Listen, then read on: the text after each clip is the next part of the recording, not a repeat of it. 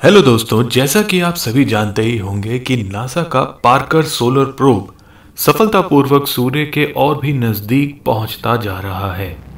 यहाँ हमारे कई दर्शक यह जानना चाहते हैं कि यह प्रोब कब तक अपने डेस्टिनेशन वाले ऑर्बिट में स्थापित हो जाएगा।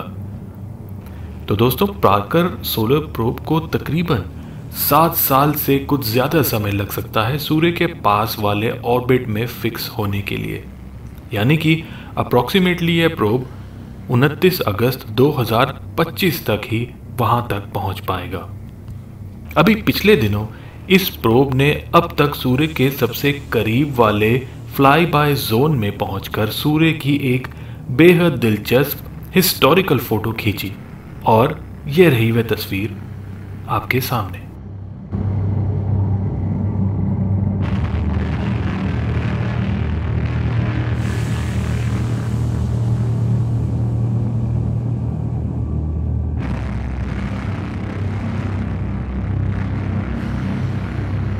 इस फ़ोटो को देखने के बाद पहली नज़र में ही हमें बहुत कुछ अजीब सा नज़र आता है।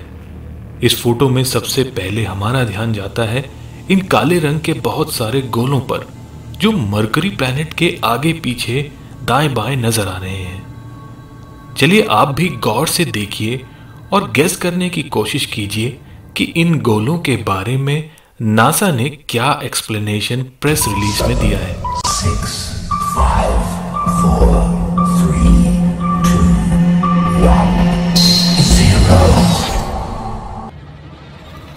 okay time out friends NASA के अनुसार ये काले रंग के गोले केवल फ़ोटो के बैकग्राउंड करेक्शन का ही नतीजा है और कुछ भी नहीं। नासा का यह एक्सप्लेनेशन तो हमें ऐसा लगता है, बिल्कुल जैसे ध्यान भटकाने की एक बहुत ही बेकार कोशिश है। क्योंकि वह नहीं चाहते कि हम सूर्य के अलावा किसी अन्य ऑब्जेक्ट पर अपना ध्यान केंद्रित कर सकें। खैर, वैसे तो इस फ़ोटो में बहुत सारे अनएक्सप्लेन ऑब्जेक्ट्स दिख रहे हैं। लेकिन शायद सबसे बड़ा मिस्टीरियस ऑब्जेक्ट का दिखना इतना आसान नहीं है। क्योंकि उसको देखने के लिए हमें इस मरकरी प्लैनेट की फ़ोटो पर जूम करके देखना होगा। तो चलिए वो भी कर लेते हैं। तो ये देखिए दोस्तों प्लैनेट मरकरी के पास एक छोटा सा ब्लैक स्पॉट नज़र आ रहा है। जबकि मरकरी प्लैनेट का कोई भी नेचुरल सैटेलाइट यानी चाँद है, ऐसा कभी हमने ना पढ़ा, ना देखा, ना सुना। हमारी गूगल सर्च में भी मरकरी का कोई अपना चाँद हो, ऐसी कोई बात सामने निकलकर नहीं आई है। आप चाहें तो खुद भी गूगल सर्च इस विषय पर कर सकते हैं।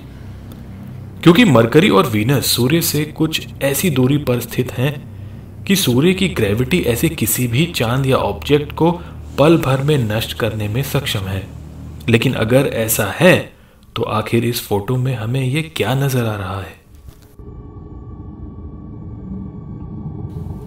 दोस्तों, इतिहास में यानी 1970s में एक ऐसी ही घटना सामने आई थी, जिसका थोड़ा सा ज़िक्र हम यहाँ ज़रूर करना चाहेंगे।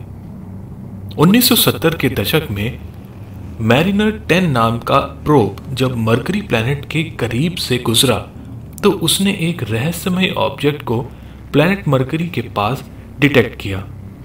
लेकिन वैज्ञानिकों ने ऐसे किसी भी ऑब्जेक्ट के होने की बात खारिज करते हुए कहा कि यह पॉसिबल ही नहीं है। लेकिन क्योंकि उस मिस्टीरियस ऑब्जेक्ट को माइनर टेन प्रोब के द्वारा डिटेक्ट किया जा चुका था और जिसका डेटा वैज्ञानिकों के पास उपलब्ध था इसीलिए बाद में यह बात कह दी गई कि शायद वह कोई एस्ट्रॉयड होगा। मगर डिटेक्ट किए गए ऑब्जेक्ट की गति और ऑर्बिटल पाथ कुछ और ही कहानी कह रहे थे। नासा के पार्कर सोलर प्रोब द्वारा खींची गई इस बेहद दिलचस्प तस्वीर में हमें जो कुछ दिखा, जो कुछ हमें समझ में आया अपनी रिसर्च के दौरान, हमने वह सभी बातें आपसे शेयर की हैं। अब हो सकता है कि आने वाले समय में ये ऑब्जेक्ट्स जो हमें इस तस्वीर में दिखे हैं, उसके बारे में कोई एक नया ही एंगल या नई किस्म की एक्सप्लेनेशन हम सभी को सुनने को मिले, देखने को मिले। लेकिन हम आपसे जानना चाहेंगे कि क्या पार्कर सोलर प्रोब की इस फ़ोटो के बारे में नासा का जो एक्सप्लेनेशन प्रेस रिलीज़ में सामने आया है, जैसा कि हमने आपसे डिस्कस किया है इस वीडियो में, क्या आपको वह बिल्कुल सही लगता है? क्या नासा का ऐसा बचकाना एक्सप्लेनेशन उनको शक के घेरे में नहीं लाता है?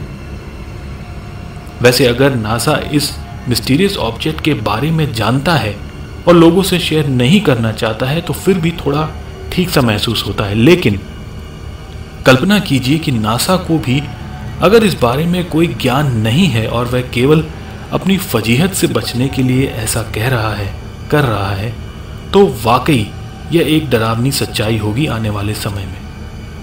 क्योंकि अभी तो यह सिर्फ़ एक शुरुआत भर है। 2025 तक तो न जाने हमको क्या क्या देखने को मिल जाए।